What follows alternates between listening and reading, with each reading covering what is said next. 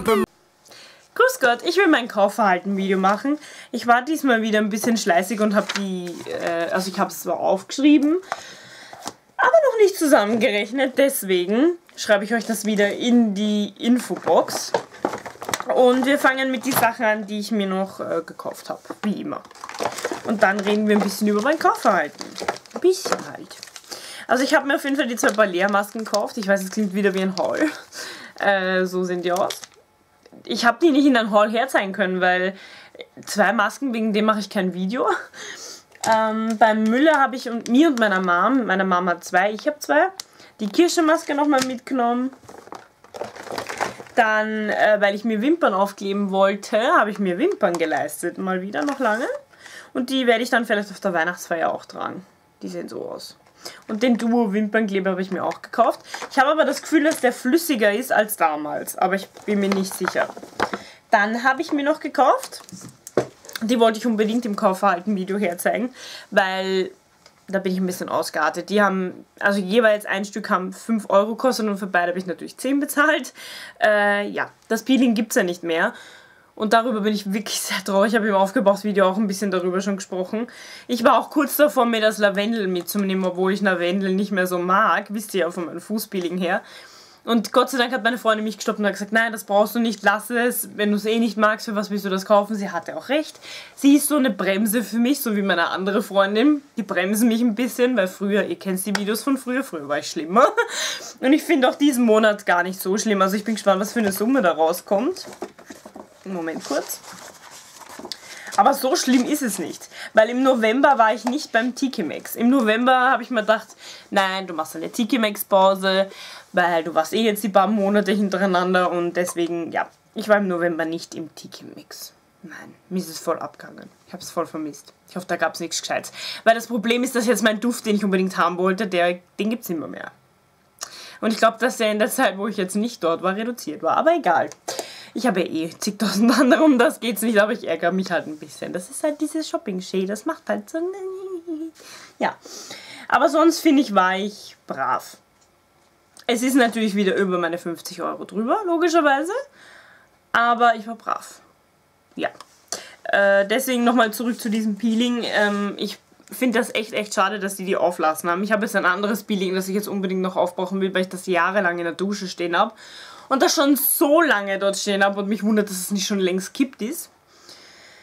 Ja, aber ich bin echt traurig, dass sie dieses Peeling rausgenommen haben. Ich habe mir jetzt zweimal das Vanille, Vanille mitgenommen, weil es kein anderes mehr gab. Ich wollte noch in anderen Shop schauen, aber ich hatte einfach keine Zeit.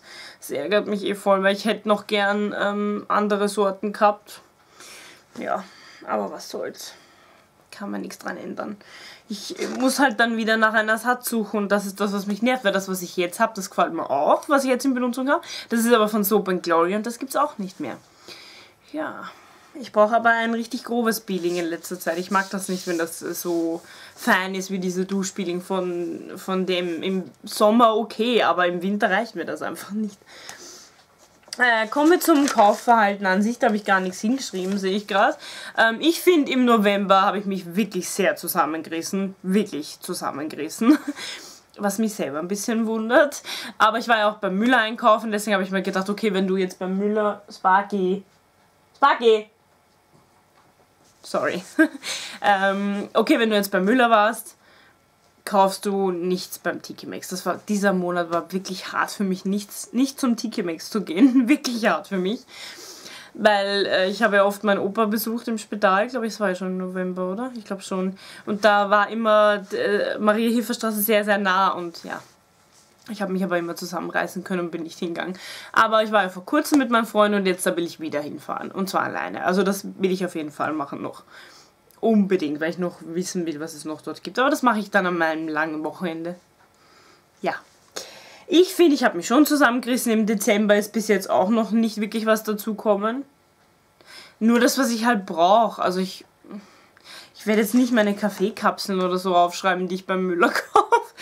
Oder meine ähm, Einwegwaschlappen, das werde ich auch nicht aufschreiben, weil das sind Sachen, die ich halt aufbrauche und jedes Mal benutze. Also so speziell habe ich mir noch nichts gekauft. Nein, weil den Tiki Max habt ihr ja eh schon gesehen. Weil da ist ja auch schon November. Na, Blödsinn, das ist Dezember. Hm, jetzt bin ich ein bisschen verwirrt. Ich klinge auch verwirrt, oder? Ja. Aber ich finde, im November habe ich mich sehr zusammengerissen. Es ist auch nicht mehr viel dazukommen. Ich meine, die zwei Peelings gibt es ja dann nicht mehr. Die Masken wollte ich unbedingt probieren. Ihr wisst, ich bin ein Masken-Junkie. Die mochte ich eigentlich nicht. Das war jetzt ein Nostalgie-Kauf. Die hätte ich mir nicht unbedingt kaufen müssen, aber ja, ich wollte die unbedingt trotzdem nochmal haben. Also da muss ich zugeben, das war unnötig, die Masken.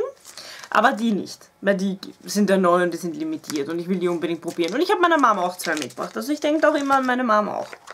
Das finde ich jetzt auch vollkommen okay. Wimpern und Wimpernkleber gibt es nichts Negatives. Ich habe sie auch gleich benutzt, wie ich sie gekauft habe. Und ich finde die beiden Sachen auch okay. Meine zwei Peelings. Aber ihr könnt mir gerne mal schreiben, wie ihr die Sache findet. Ob ihr das auch okay findet oder ob ihr, oder ob ihr sagen würdet, nein, die Sache hättest du doch nicht kaufen brauchen oder sonst irgendwas. Ich bin stolz auf mich.